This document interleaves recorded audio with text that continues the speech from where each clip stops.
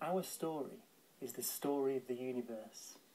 Every piece of everyone, of everything you love, of everything you hate, of the thing you hold most precious, was assembled by the forces of nature in the first few minutes of the life of the universe, transformed in the hearts of stars, or created in their fiery deaths. And when you die, those pieces will be returned to the universe in the endless cycle of death and rebirth. What a wonderful thing it is to be a part of that universe. And what a story. What a majestic story.